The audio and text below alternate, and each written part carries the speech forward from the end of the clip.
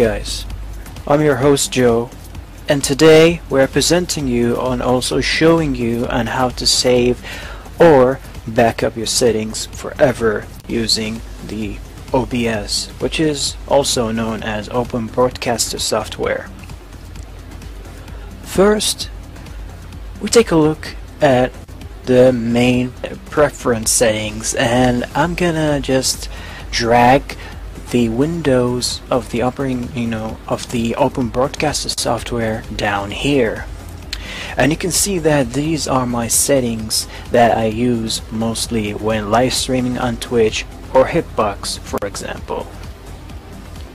And you can see all these settings have been applied. So I cannot switch. I'm also using Dix to record now so I cannot switch between those scenes.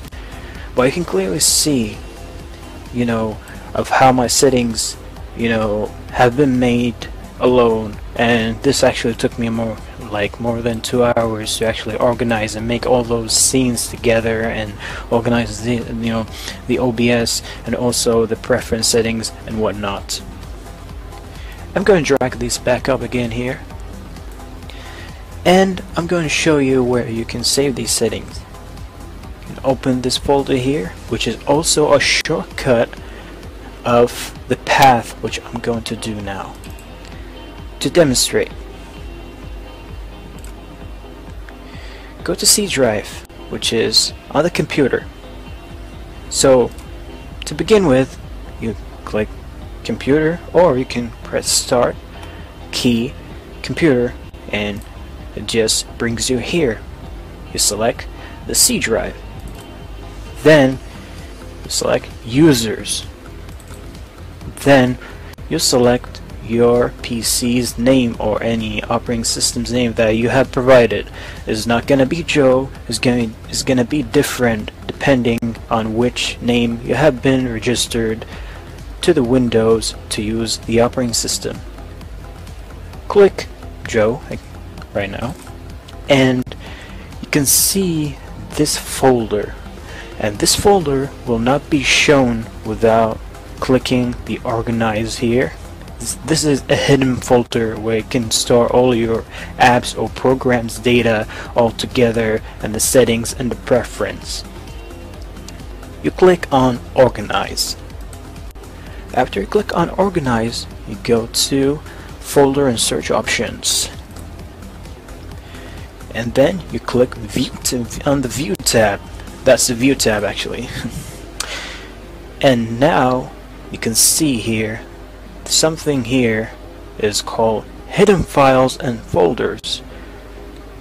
On default it's set to don't show hidden folders files folders or drives. And you have to click show hidden files folders and drives. The second one click hit apply hit OK it should pop up right here on the left on the first you know first of the list. Then double click it. Then double click roaming which is the left double click on the mouse.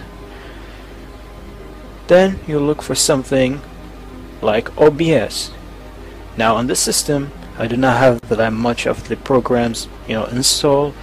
So in case if you have so many programs that has these fold you know these folders separate with it you're going to have to search OBS to find the specific program and to be faster to access to it. Then you left double click and you can see here these all my logs crash dumps plugin datas profiles everything every literally every settings that I did it's right here.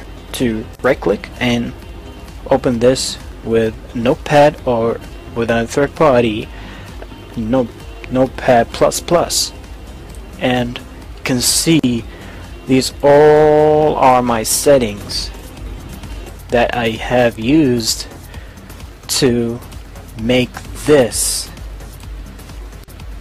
OBS designs or overlays and all of these preferences so, what you need to do now is to back up all these settings.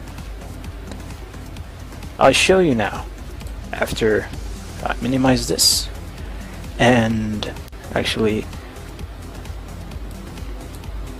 close this window or just minimize it for example because I already have it on shortcut so it'll be faster to access it.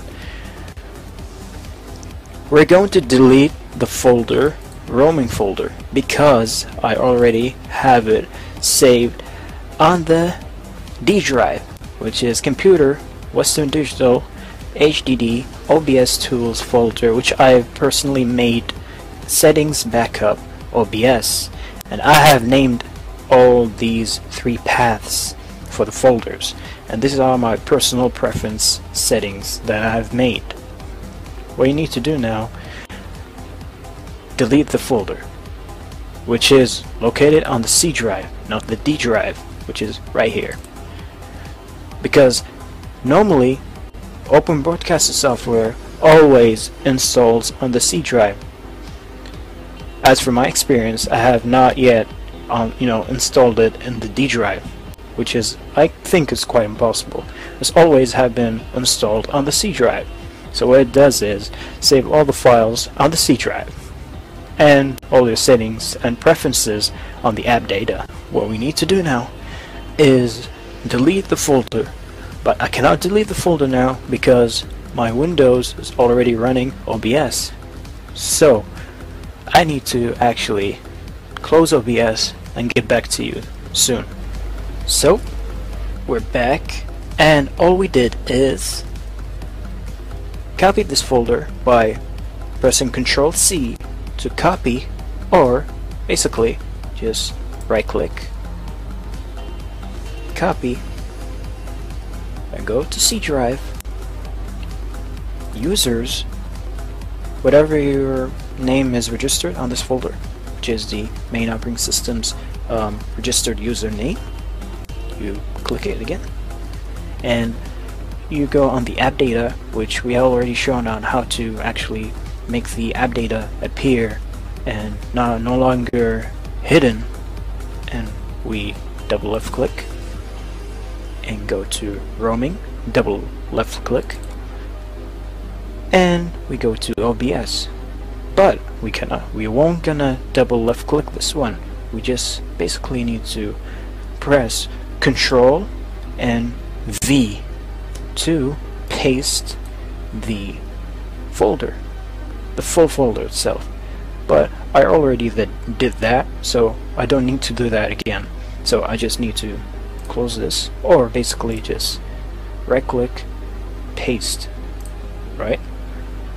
And once you get your settings, once you paste this, your settings will be saved and all your settings will be back. You don't need to actually, you know, you don't need to actually reinstall uh, I mean it's nothing you know there's no installation in this process but you get all your settings your you know overlays and all these nice you know fancy things that you can do for your live stream. And yeah and that's about it. It's pretty much easy and it's not that hard to do. And I hope you guys uh, find this video helpful. This is like my first it's not my first actually it's my second in-depth um, tutorial that I made for this kind of useful thing. It will save you a lot of time. I mean a lot lot of time doing all these settings and scenes and sources by your own self. This saves you a lot of time. And in the next video in the future we might be covering on how to actually save your third-party plugins such as um, CLR browser or video source or any third-party plugin that works in the open broadcaster software and I hope you guys enjoyed this video and found it helpful if you did please like it or if you didn't just dislike it. And I hope you guys have a nice day. And yeah, this is your host Joe. I'm glad you watched this tutorial and uh, I'm happy to help you. And uh, take care, be safe, and also make sure you can subscribe to our channel to get more updates and more in-depth tutorials like this. Goodbye.